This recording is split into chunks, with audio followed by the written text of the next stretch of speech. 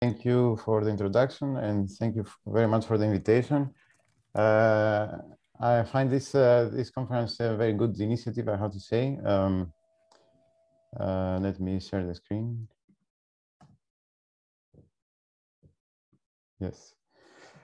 Uh, and I think that it's uh, uh, it's a really good opportunity to meet and start collaborating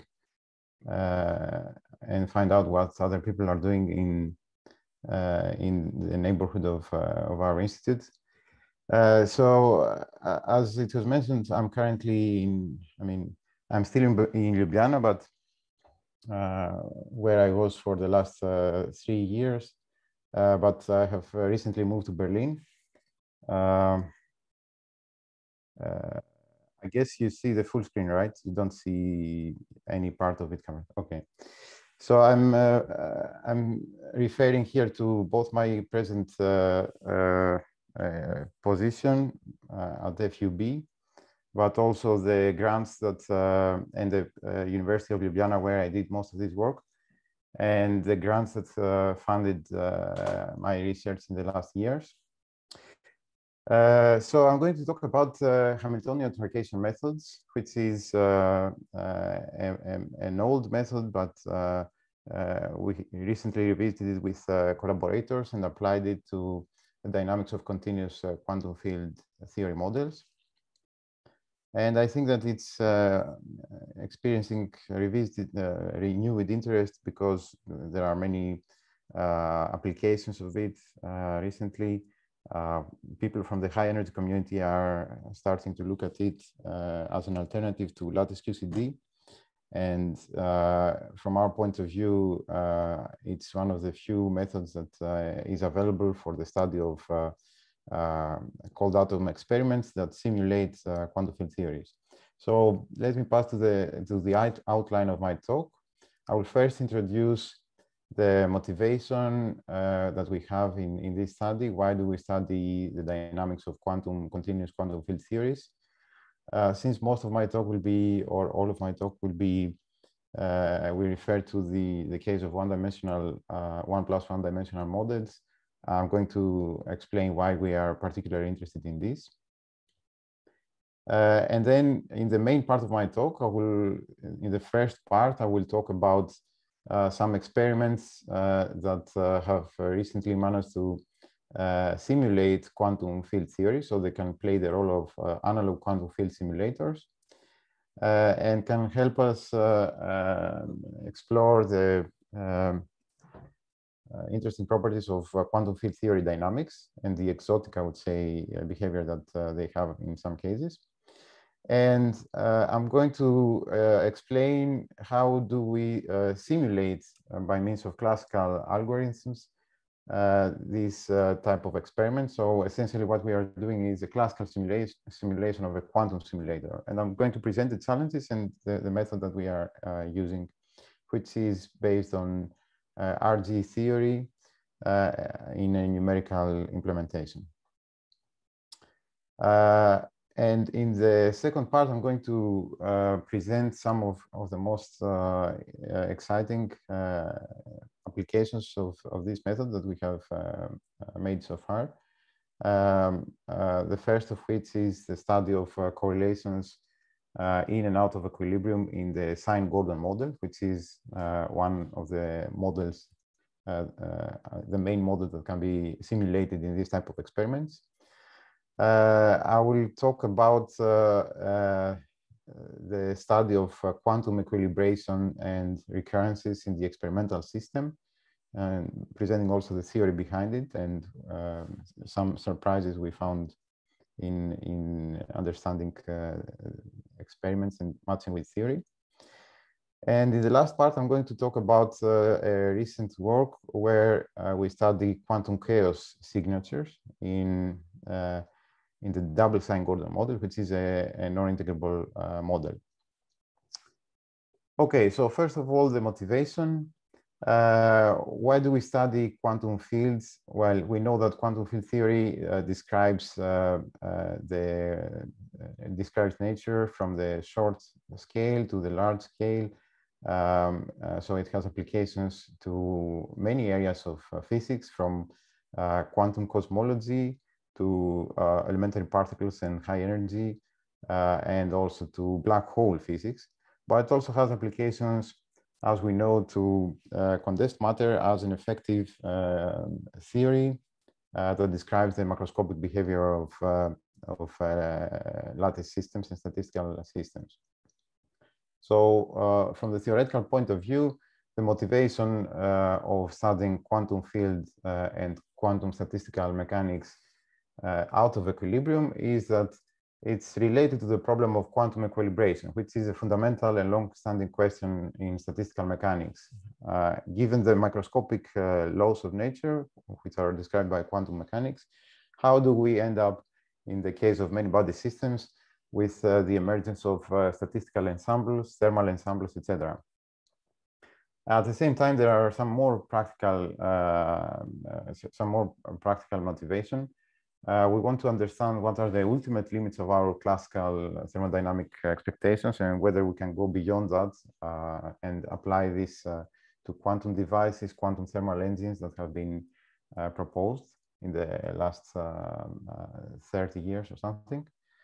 And uh, of course, we aim to see uh, uh, novel quantum effects at the at macroscopic level if uh, uh, possible.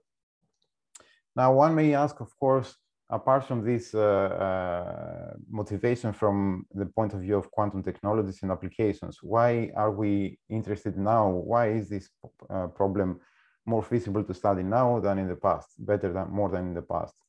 And the answer to that is that uh, on the one hand, there are experimental uh, techniques that allow the study of quantum many-body dynamics uh, in ultra-cold atoms. I'm going to talk about uh, that in a while. And on the other hand, there are uh, very efficient numerical tools like TDMRG, MPS, tensor network-based methods that allow us to simulate uh, quantum dynamics, quantum many-body dynamics, and get a glimpse of, of, what is happening in a controllable situation. Now, why do we focus in particular in one spatial dimension? Well, uh, on the other hand, we have exact analytical tools like integrability and uh, exact dualities uh, that allow us to study uh, uh, in principle exactly the dynamics of uh, quantum models in one dimension. And on the other hand, the, the numerical tools that I mentioned before are primarily uh, uh, can be applied to one plus one dimensional systems due to the scaling of entanglement and so on. Okay, so let me now uh, uh talk about uh, a specific uh, example of cold, cold atom experiments that, as I said, can, can help us simulate continuous quantum field theory models. Uh, first of all, what do we what do we mean about uh, when we talk about quantum simulation? We know that uh, quantum systems are hard to, to solve because of the exponential uh, scaling of uh, the Hilbert space with the number of particles. Uh, so there is a, a, challenge in, in solving these models. And the idea of Feynman was to use a quantum computer in order to simulate such systems. Uh, so uh, by quantum simulation, we mean that uh, we use a quantum uh, system uh, whose Hamiltonian, whose description can be corresponds to a model that we are interested in. And we let the system, um, we make experiments on this system and we see, we get as output the answer to the question that we are interested in for the theoretical model. So this is what, what uh, has been achieved in uh, these experiments of the, uh, the atom chip group in Vienna, uh, uh, which are uh, conducted by Professor Schmiedmayer. and let me give some, some brief explanation of what they are doing. They are using one-dimensional quasi-condensates of bosonic particles, of atoms, uh, which uh, they are they can be controlled by the magnetic uh, trap uh, produced by an atom chip. So it can be precisely controlled by the by an electronic device. and this gives them a high um, tunability in the parameters of the system and uh, the, the allows them to, to do uh, precise protocols of uh, out of equilibrium dynamics, etc., etc. In particular, the application that I'm mostly interested in here is the case where they have two parallel quasi one-dimensional condensates, which are close to each other, and uh, so that there is hopping between uh, the two uh, subsystems. In this case, the hopping plays the role of a Josephson junction, which gives rise uh, in an effective uh, description of the phase and density field of the condensate to the so-called Sine-Gordon model. So this is what what's going to uh, what I'm going to talk uh, about in most of the following of the talk. Uh, the Sine-Gordon model is described by this Hamiltonian, uh, uh, where phi is the phase of the, the relative phase between the two uh, condensates. And as you can see, it has a, a free part, this quadratic part. Unfortunately, I can't see my mouse, but uh, and and it has an interacting part that corresponds that that is that has the form of this uh, cosine potential.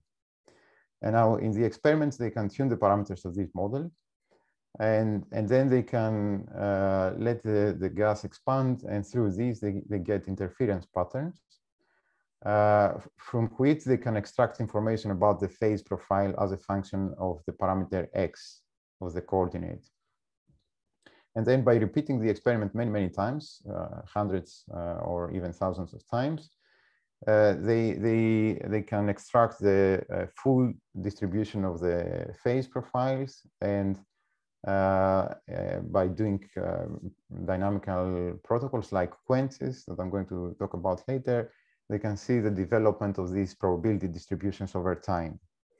So uh, the dynamics of these of these fields uh, can be controlled to be either the Sine-Gordon, either given by the Sine-Gordon model, or if we tune the parameters so that there is no cosine interaction, uh, they are given by simply the quadratic part, which in the context of uh, 1D physics, it's called Luttinger liquid.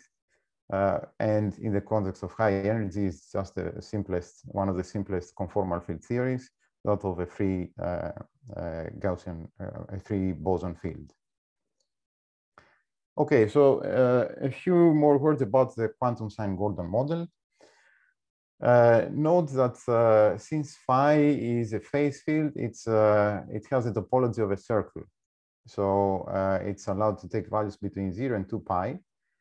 And, uh, or in this case, uh, it's actually two pi over beta if we express it in this particular form. Uh, which means that uh, the ground state of this model is uh, there is an infinite there is an infinite number of ground states which correspond to the minima of the potential, and therefore there are also solitonic configurations that correspond to field configurations where the field uh, changes from zero to 2 pi as we go from minus infinity, uh, minus spatial infinity to plus infinity. Uh, now, solitons, uh, as I said, uh, can be represented in this form. Uh, in the classical case, uh, so the, the, the, profile that uh, describes a soliton interpolates between the value 0 and 2 pi. And we can have moving solitons, we can have static solitons.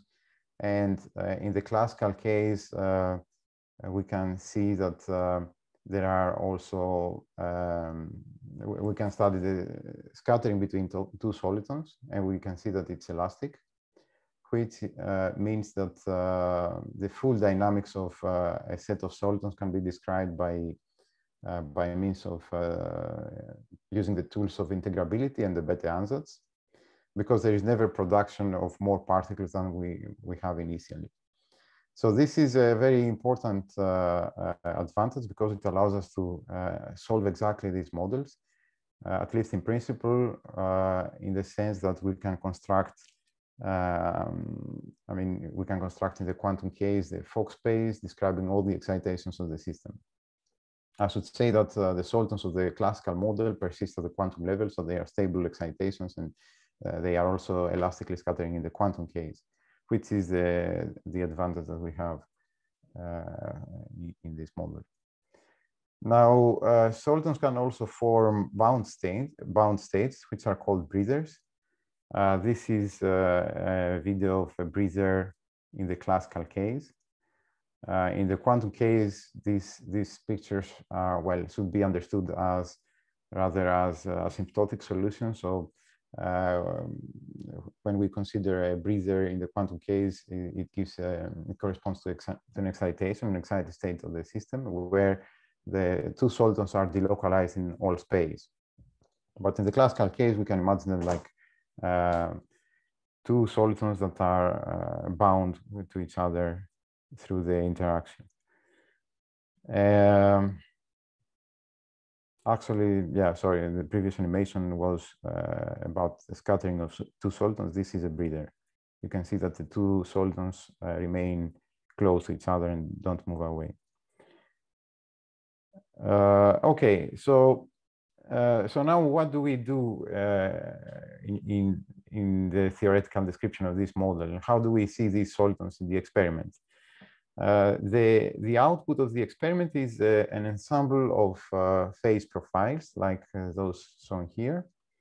And in, in the case where the potential is a parabolic potential, uh, or any potential that has a single minimum, the distribution would look like this. In the Gaussian case of a parabolic potential, it would look like uh, it would have a Gaussian distribution when we uh, average, when we take the distribution of all phases at all points. So we have a field that is simply, uh, that has simply harmonic fluctuations. But in the case that solitons are present, uh, the field uh, can jump from one of the two minima to another one and possibly also to uh, 2 times uh, 2 pi, so integer multiples of 2 pi. And therefore, uh, the distribution of the phases exhibits a, a, markedly different distribution. It has uh, a, a bell-shaped in the bell-shaped distribution in the middle, but it has also these satellite peaks at integer multiples of 2 pi. And indeed, in the experiment through uh, atom interferometry and analysis of these uh, phase profiles, it was possible to show uh, that uh, under uh, in, that in certain cases in this fast cooling uh, protocol, the distribution of the phases exhibits these satellite peaks at plus minus two pi.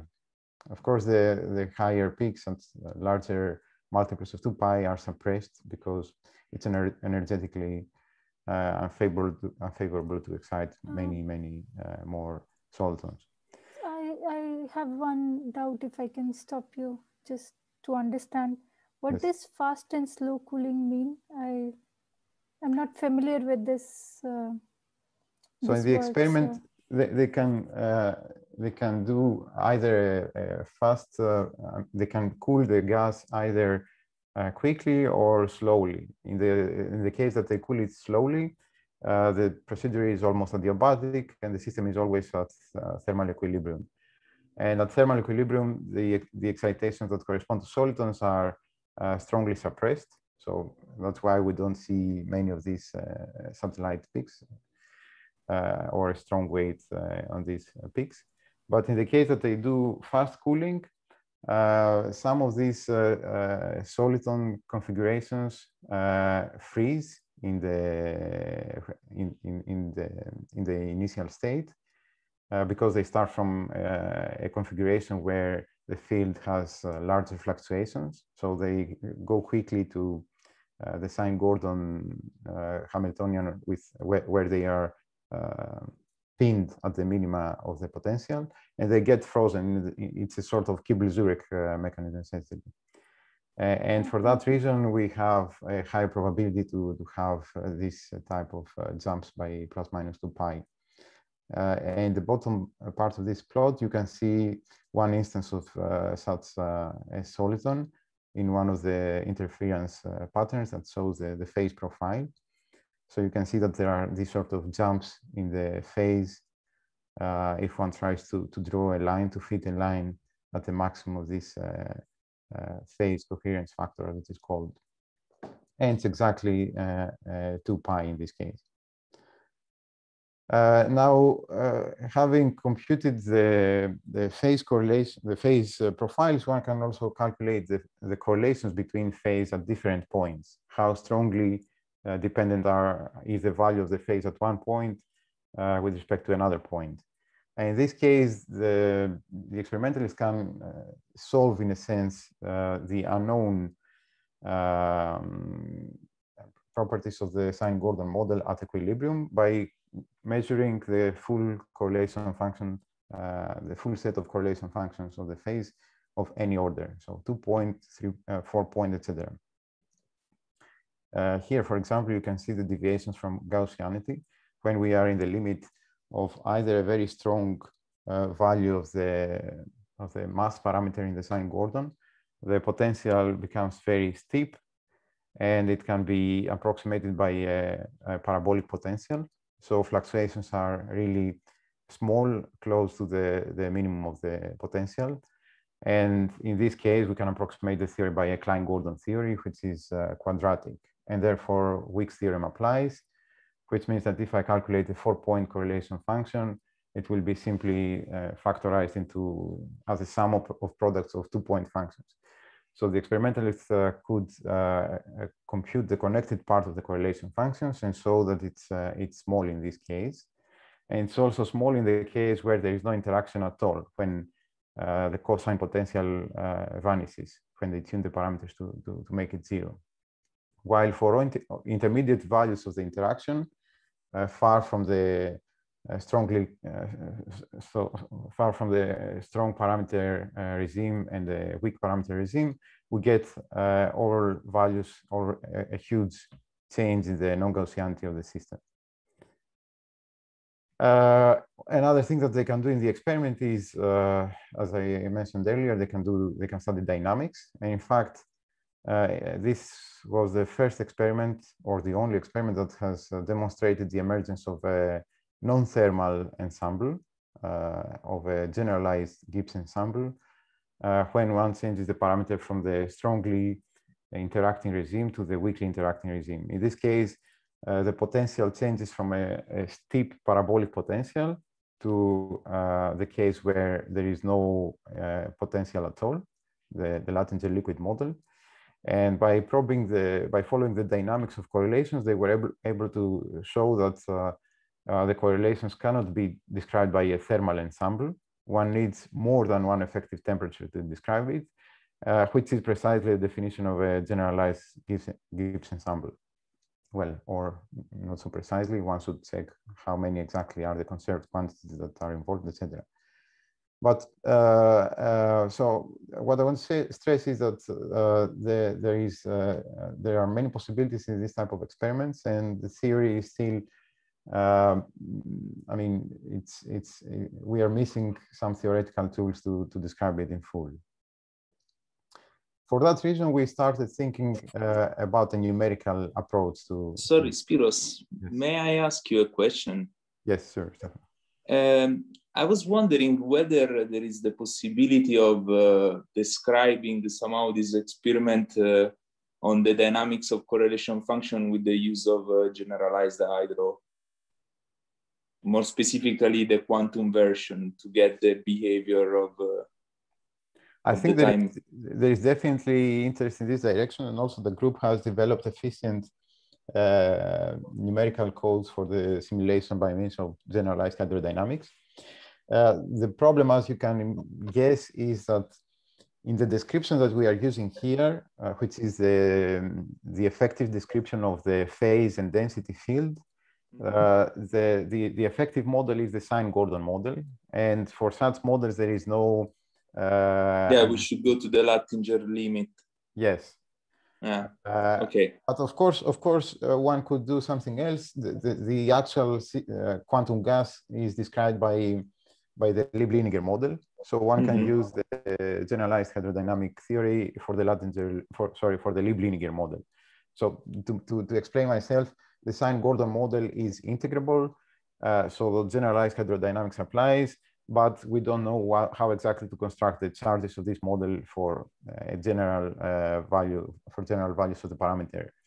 Uh, while uh, in the original description in terms of uh, bosons describing the, the cold atom, the system is a Lieb-Liniger gas and having two such systems parallel to each other corresponds to well, two Lieb-Liniger gases that are in contact with each other. So, of course, this is uh, non-integrable uh, if we have the two uh, system cases. Uh, because the coupling between them would, would break integrability, but uh, generalized hydrodynamics can be used uh, or extended in a, in a much non way. okay, thank so you. I think there is strong interest in this direction and um, some of the experimentalists are working on this. So Okay, thank you. Uh, okay, so let me now uh, talk about uh, the methods that we used. Uh, and let let me explain a bit better why we look at at this. Uh, uh, uh, uh why we started to think about this method. So as I said, the Sine-Gordon model is integrable due to the fact that the solitons uh, scatter elastically, which which is a great advantage because combined with uh, relativistic invariance, uh, it uh, gives rise to this uh, to the application of this S matrix bootstrap, which means that we can calculate uh, properties like the mass spectrum uh, and the S matrix. and with this with these tools, we can calculate the so-called form factors of local operators, which are essentially matrix elements of uh, local fields in the basis of uh, the solitonic excitation. So we can construct a Fock space as in a free theory by, uh, by acting with uh, creation and annihilation operators of the solitons. And, and this allows us to, to, to practically, or uh, not practically, but in principle, to solve the, the model. But the progress in this direction is really slow. So um, it started in 1975 or 79 when the, it was uh, shown that the, it was conjectured it's uh, exactly uh, solvable in the quantum case as well. Uh, and since then, uh, uh, with very slow steps, people were able to calculate ground state expectation values of local fields or two-point correlations in the ground state. Then eventually, uh, thermal correlations is an ongoing project that that is uh, that that, uh, that is obstructed by fundamental conceptual problems of the theory. So uh, there are recent proposals, but the, the, the field is still open and it's not clear how to calculate uh, correlation functions of this model, uh, neither at thermal equilibrium nor uh, in, the, in the case of, um, of quenches out of equilibrium. So if the goal of uh, solving uh, a quantum field theory is to calculate the values of observables and correlation functions, we are still far from, from this by means of analytical tools. So what we thought was to, to cheat a little bit and go faster to the, to the top of the mountain by using a numerical technique that doesn't uh, require uh, facing all of these uh, conceptual problems of the analytical theory. The method that, that we use is called truncated conformal space approach. And it's a numerical method for the study of continuous uh, one plus one mainly dimensional models irrespective of whether they are integrable or non-integrable. It's based on renormalization group theory and conformal field theory. And in contrast to uh, tensor network uh, methods, it's, it's, it's, it's, it applies to uh, continuous models uh, where the dimensionality of the Hilbert space is uh, from the beginning infinite. Uh, now, the positive thing is that it can capture rather efficiently non-perturbative effects. We have seen that um, in the calculation of the ground state and low energy properties. But the negative aspect is that uh, it doesn't really solve the curse of dimensionality problem, the fact that the Hilbert space of a quantum system grows uh, fast, exponentially fast with the number of degrees of freedom. So we are still limited to uh, essentially matrices, to, to dimensions that uh, correspond to a matrix problem uh, of dimensions of 10,000 or at best 100,000, which are the, the, limitations of exact diagonalization. Uh, let me explain a little bit more how exactly this method works. So the problem is to find the spectrum of a continuous quantum field theory, which we, we uh, put in a finite volume so that the spectrum is uh, discrete. Um, now, one of the simplest ideas one would have would be to express the Hamiltonian of this model uh, as a perturbation, if you want, of, uh, of another Hamiltonian that we, we know its spectrum exactly. It's an exactly solvable uh, Hamiltonian. Uh, and then the perturbation, we also need to know how uh, it is represented in the basis of uh, H naught of the H naught Hamiltonian. So we have known spectrum and eigenvalues and eigenstates for H naught and known matrix elements of uh, delta H, the perturbation, in the basis of H naught. Uh, and then if we uh, put the system in finite volume so that the spectrum is discrete and we apply uh, some high energy cutoff to, to make the, to restrict the infinite Hilbert space into a finite uh, truncated Hilbert space, uh, then we have essentially a matrix problem. We have a matrix that describes the Hamiltonian and we can diagonalize it by numerical means. Of course, uh, in the Sine-Gordon case, the, the, the H naught part, exactly solvable part is chosen to be this, uh, the, the free part of the Sine-Gordon model. So the conformal, the free boson conformal field theory. And the interaction is uh, the cos beta phi. Uh, and indeed, it can be expanded easily in the conformal basis using the algebraic tools of conformal field theory. Uh, now, if we do this procedure, we'll find out that uh, uh, the Hamiltonian matrix has, um, in fact, it has a self-similar form. And if we keep increasing the cutoff, the energy cutoff that we use and keep expanding the truncated Hilbert space, uh, we would hope to, to uh, reach convergence. So of course, the, the, the exact problem is to solve, uh, to find the spectrum in infinite Hilbert space, but this is impossible numerically.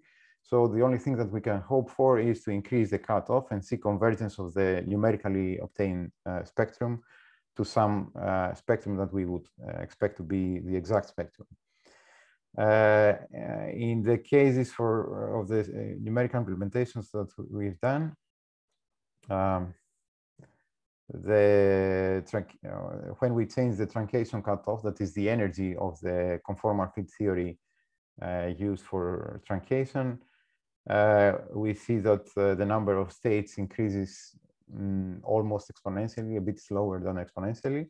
And this is the maximum uh, truncation cutoff that we have reached. Now, uh, a, a, an important warning is that uh, if we apply this procedure, in general, we wouldn't, uh, nothing guarantees that by increasing the cutoff, we would reach uh, convergence. Um, so if I did that for a general model, I could choose the free, the free part of the Hamiltonian in different ways, and nothing would tell me that uh, uh, by splitting, doing different splittings, I would get convergence of the numerical spectrum. But there is one uh, intuition, very crucial intuition that comes from RG theory, which is that if the perturbation delta H is a relevant operator of the conformal field theory describing the, the uh, that corresponds to H naught, then we know that uh, the low energy part of this uh, uh Hamiltonian H uh, will be considerably different from that of the conformal field theory of the free part. But at higher energies, it will come closer and closer to that of the free part. So asymptotically at high energies, the system, the model is still uh, free. It's still described by the spectrum of H naught. And uh, it is only at low energies that we have strong uh, deviations from the spectrum of H naught.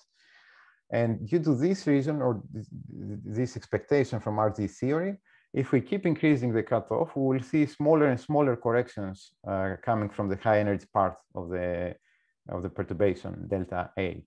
And for that reason, we, we can hope that we will reach convergence. If we chose delta H to be a, a, an irrelevant operator instead, then it would be the high energy part that uh, gets modified while the low energy part doesn't. In that case, uh, the method would just never converge. It would keep changing the, the spectrum would keep changing uh, with the cutoff. Okay, so uh, if you have any questions about the methods, please let me know now. Otherwise, I will go to the next part, which is the, the, presentation of some of the main results that we had. So just maybe a precision concerning your previous slide. Uh, here, what? Uh, no, the one with the matrix. Here. Yes. So each, let's say, square, increasingly bigger square is when you you increase the the the truncation, right? Yes, exactly. But so here it feels. I mean, each square is by increasing one to the translate to the to the to the amount of truncation that you do, or is it by changing five as uh, was written on the table? Like, uh, this is uh, each one corresponds to increasing uh, by one. So okay, I okay. say that uh, the conformal field theory spectrum is somewhat exceptional or very mm -hmm. exceptional in that it has uh, extensive degeneracies. Mm -hmm. The conformal field theories uh, correspond to, well, it, it, it's probably not the right moment to explain all that, but it's when we. I can wait huh, if it puts you in a in a an embarrassing uh, order for your presentation. Huh? No, no well, worries. I will just say that uh, uh, when we increase the truncation cutoff by one, there are um, exponentially many, uh, there is an increasing number of uh, degenerate states that are included in the energy cell. And that's why the size of these boxes increases with, mm -hmm. with the cutoff. And what's, that's why exactly uh, the Hamiltonian has this uh, block diagonal, well, not block diagonal form, but it has this pattern with the, the block structure. Mm -hmm. um, the, the, the matrix elements of uh, the Sine-Gordon Hamiltonian in the CFT basis uh, have uh, strong dependence on the, uh, on, on the cell, the energy cells to which they correspond and and some internal structure in each of these uh, blocks. Okay. Okay. Thank you. Okay, so now uh, let me uh, present uh, three or four if there is time. Unfortunately, I can't see my, I can't see the time. I don't know how much time I have. So I would say it's already to 11 uh, if you wind up in 10 minutes, we'll have some time for questions. Ah, great. Okay, I a bit slow. Um, okay, so uh, we, we have uh, explored some effects of uh, the presence of uh, topological excitations, solitons, uh, both in and out of equilibrium. And I will start with the effects on, on ground state correlations and thermal correlations. So here, uh, by using the method that uh, I described before, we construct a spectrum of the Sine-Gordon model in a finite box.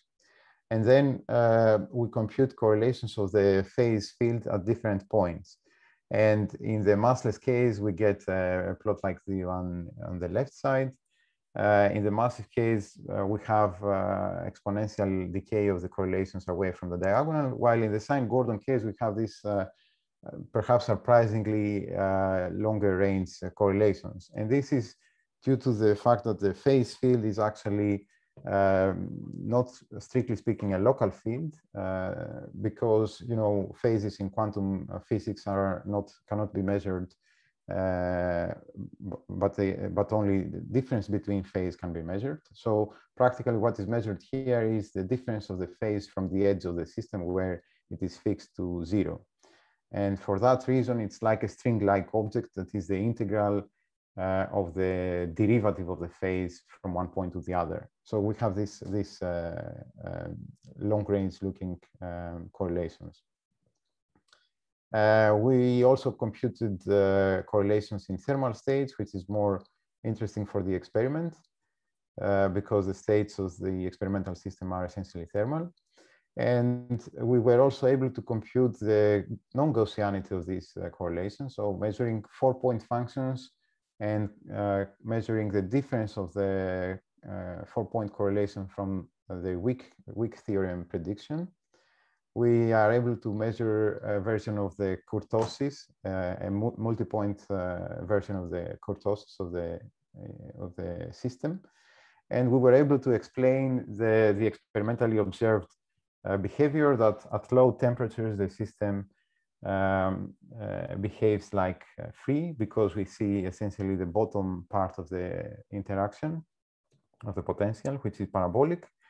Uh, at high temperature, the uh, non-Gaussianity drops again because we are uh, the energy of the of the thermal state is far above the potential, the maximum of the potential. So we are in the asymptotically free regime. But at intermediate values, we have strong deviations from Gaussianity because we see uh, precisely the non-trivial part of the potential. Uh, and this matches with the, as I said, with the prediction, with the measurements of the experimental uh, system. Uh, now, the next thing that uh, we studied numerically was uh, quench dynamics. So we could um, produce nice or well, cool plots of the uh, correlation functions uh, as functions of time and see, uh, observe the difference from the free case and also explore the, the spectral, do a spectral analysis of this. Um, we could also make some uh, nice videos, which is just for visualization purposes, of course.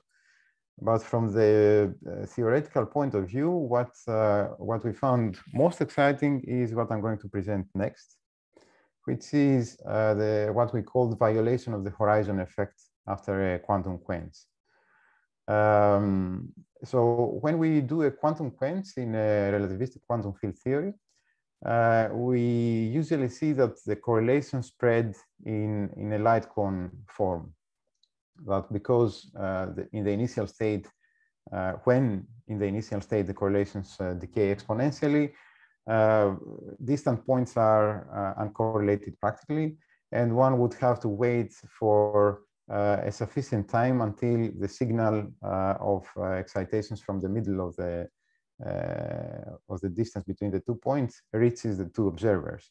And it is only then that we see uh, a change in the correlations uh, um, between the two points. This was pointed out by Calabrese and Cardy uh, when they started talking about quenches and uh, a combined effect of the relativistic invariance and the fact that the initial correlations uh, satisfy clustering. Um, uh, okay, and since then it has been observed in lattice systems because also those uh, satisfy the Lieb-Robinson bound, which can be seen on the, the analog of relativistic invariance in uh, lattice models. And has also been observed experimentally in various different uh, systems. Now, I'm not going to talk about uh, those examples more. I want to go directly to what happens in the case of sine-Gordon dynamics. So in, in, in our simulation, we, uh, we started with uh, uh, an initial state that is the ground state of the Klein-Gordon model that is given by this Hamiltonian, which is quadratic. And we know exactly that the correlation length uh, in this uh, ground state is of the order of the inverse of the initial mass, of the mass m naught. So it has precisely exponential uh, clustering, exponential decay of correlations. And then we, uh, we switch from, from this Hamiltonian to the sine-Gordon Hamiltonian, and we do the dynamics uh, with uh, the sine-Gordon Hamiltonian. And we observe, we measure the correlations between different points at the same time t. And um, what we observed was the following, that if we do the Klein-Gordon uh, dynamics for, for this type of uh, we see a perfectly nice uh, horizon up to some numerical artifacts that increase uh, when the parameters go far from the um, CFT point. Uh, but uh, when we do the same with the sine-Gordon dynamics and measure the phi-phi correlations, the phase correlations, we don't see uh, we don't see this uh, light cone pattern. and on the other hand, for the phi-phi correlations, one may expect that because, as I said, phase is a field that uh, no matter how you calculate it, it's practically a difference between uh, phases at different points uh, because we need some reference point to, to start measuring the, the phase. So it's inevitably a non-local field in this sense that we integrate from, uh, from, from another point, uh, the, the actual local field, which is the d phi. The d phi corresponds to the density of uh, solitons in the system. And this is the one that, that can be considered as a local field. Uh, now, when we computed the d-phi correlations, because as I said, this is the local feed, we still found that there was a strong deviation from, from what we expected to see. There is some uh, light cone bump, if you want, but we see that correlations spread also outside of that, of that bump, and they have a characteristic oscillatory uh, uh, behavior, which increases, and the, the frequency of these oscillations increases when we increase the interaction beta of, of the Sine-Gordon model. So now that was quite uh, peculiar for us because. Sorry, Spiro. Just yeah. uh, one question on the on the slide before. Ah, yes. Does it mean, uh, if I understood well, that if you were to be able to diagonalize fully the Hamiltonian, which is difficult because the system is not integrable, but assuming you do, and then you look at the excitation in this um, eigenbasis, then you mm-hmm. would observe a nice light cone, or is it really impossible for this uh, Hamiltonian? Uh, the Hamiltonian is relativistically invariant, but when we truncate it, as you say, as you probably guessed, uh, we break the Lorentz invariance. Mm -hmm, so it's mm -hmm. only approximately that, the, that this holds. And so at first we thought that we were almost sure that this is a numerical effect. Mm -hmm. But mm-hmm. then we increased the truncation cutoff and we, uh, we found out that uh, the effect doesn't go, it doesn't diminish, and uh, it actually converges. The oscillations converge when we increase the cutoff. So we did all, we, we know that the, the method is still very strongly limited by the, the small Hilbert space di um, dimension that we can uh, simulate. And we took very seriously the, the possibility that there are numerical artifacts. But uh, uh, by increasing the cutoff, we saw convergence of this uh, out of light cone uh, pattern. And we could only think that this is uh, this is something real. There is one more question. Uh, I can't hear. Yes, Aritra, if you're talking, uh, we cannot hear you because you are muted. Can you hear me? Yes. Uh, uh, hi. Uh, so, so this this is at which which temperature? So this is an increasing temperature. No, this, uh, these plots from left to right correspond to increasing uh, the beta parameter, which is the interaction here. Uh, yeah, I should go back and show what is the Hamiltonian. Well, here, for example, sorry. So the beta parameter controls the, the interaction, the, um, the, the, the, the distance between the minima of the potential. Uh, so for, for small beta, uh, we, we get to the limit where we can uh, approximate the potential by a parabolic trap because it becomes very steep. But uh, increasing beta, we, we go away from that approximation. Okay, and, uh, and yeah, sorry. Yeah. And and that is is that the reason like in for the for the first two curves i don't see much the light cone effect uh, the, the the periodic pattern is not outside the light cone effect. And then when i increased this delta or beta the the pattern goes out of the effect is that the reason because of uh, the trapping Yes, exactly. So for small beta, uh, we can approximate the Hamiltonian with which we do the dynamics with the Klein-Gordon Hamiltonian uh, with a very large uh, mass. And, and therefore, in that limit, or even smaller values of delta, uh, we get what we get from the Klein-Gordon uh, simulation. But as we go far from that point, uh, we see the, the strongly interacting dynamics of the Sine-Gordon model. Okay, okay, thank you. Okay, so yeah, I won't have uh, too much time to go into the details, but um, uh, in trying to explain this uh, numerical observation, we realized that, um, as I said before, uh, the horizon effect, uh, when when it's it's present, it's a combination of uh, not only the relativistic invariance of the dynamics, but also uh, a property uh, of the initial state, which is that it has exponentially exponential clustering of correlations. This is a typical property that we always expect for from a local uh, from the from an equilibrium uh, state of a local Hamiltonian. But now uh, the tricky thing is that um, when we do the dynamics under the Sine-Gordon model, the, the excitations which uh, describe these, uh, these dynamics are soliton fields. And as we know from the time when Coleman and Mandelstam uh, looked at the duality between the Sine-Gordon and the massive Thirring model, these solitons are non-local fields uh, in the sense that they are given by this uh, expression. If I define the soliton field psi, creating a soliton at some position x, it involves uh, a strongly uh, non-local operator, uh, the integral of this pi field from one point up to the point x. So they are string-like operators, if you want. So, so uh, if we require that uh, these non-local fields satisfy clustering, it's a property that we can't expect it to, to be true for, for any uh, state like the ground state of the Klein-Gordon that we, we have here. Uh, for the Klein-Gordon ground state, we know that it satisfies clustering with respect to the local field of the Klein-Gordon theory. That is uh, simple uh, linear combinations of the bosonic field. But we have no idea whether uh, these properties should be satisfied for this uh, strongly non-local field psi. In fact, we can expect that it doesn't, or we may.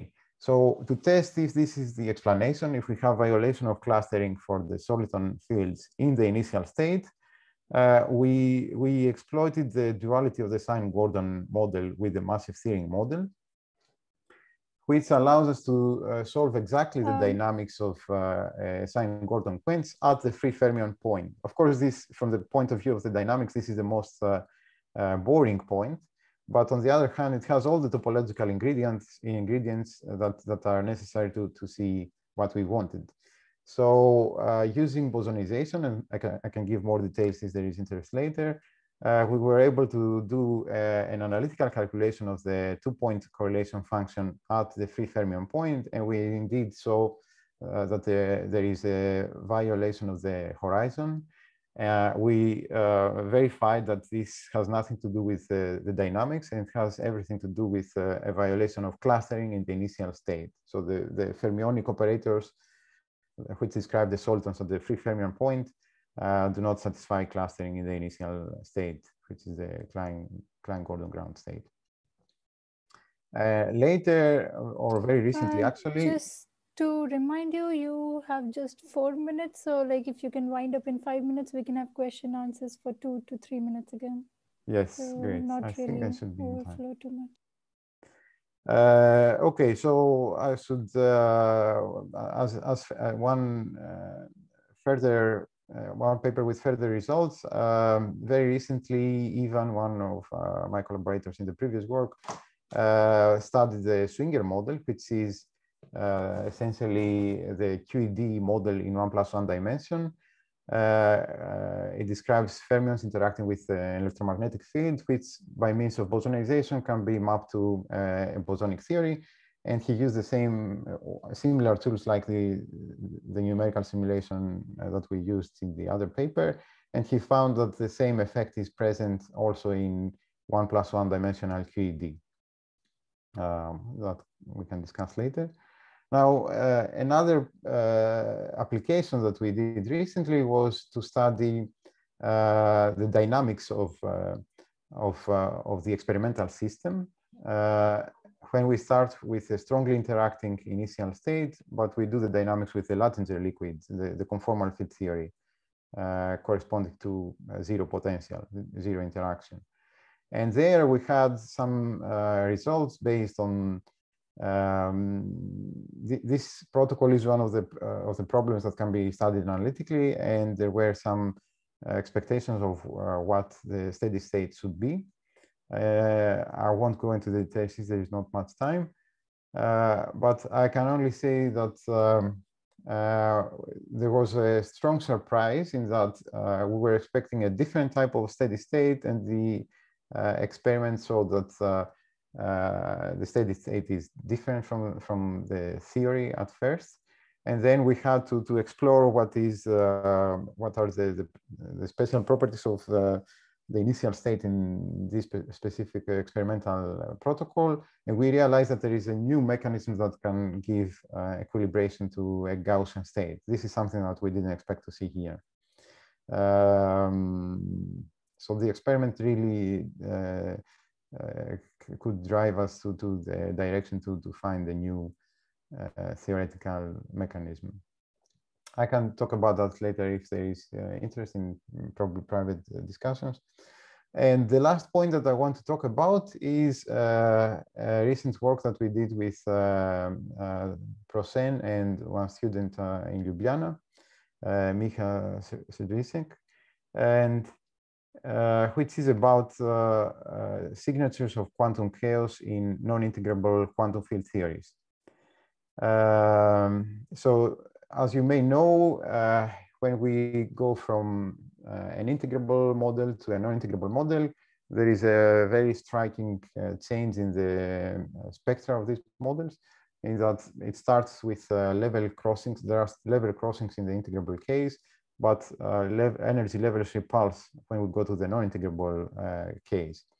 And uh, this has been checked uh, many times uh, under very different settings in lattice models, but it hasn't been possible so far apart from uh, uh, one work, I think, very pioneering work by uh, Mussardo and collaborators some years ago. So it has been studied very, very sparsely in the context of continuous models. And this is what we were trying to, to do here. Um, so exactly because of this change from level crossing to level repulsion, in the integrable case, the statistics of uh, level spacing is described by a Poisson distribution, which is markedly different than the uh, random matrix theory uh, uh predictions that hold in the case of non-integrable models. Uh, so this is what exactly we did in, we studied in the double sine Gordon model. As I said, the sine Gordon model is integrable, but the double sine Gordon model is non-integrable. And uh, yeah. uh, Can I just say something? It's already 2.31. Yes. So, I mean, it would be nice that we just try to conclude now in yes. net, next maximum two minutes. Yes. Sorry, yes, but so what we observed was that uh, the level spacing statistic is indeed described by the expected Poisson and uh, GOE statistics when we go from the sine Gordon to the uh, double sine Gordon model. And we were able to get uh, the phase diagram corresponding to different parameter values. Um, so the, the, the lines, sorry, the straight lines here correspond to exactly the sine Gordon points. But then when we computed the eigenvector component statistics, which is another test of uh, quantum chaos in non-integrable models, we found that these are uh, markedly different from what we expected to see. We were expecting to see Gaussian distributions, but instead they had a, long tails that looked more like power law, uh, so more like power law behavior. Okay, so with that, I would like to conclude. Uh, um, the general message is that I think there, there is much to explore and many surprises in continuous quantum field theories. And um, it, I think that this, this method that we are, that I present here has the potential to give us a glimpse of, of, of this exotic phenomenon. And uh, at the same time is useful for uh, applications to uh, groundbreaking experiments in the field of um, cold atom, uh, cold atoms in continuous models. So uh, with that, I conclude, and I would like to thank you for your attention.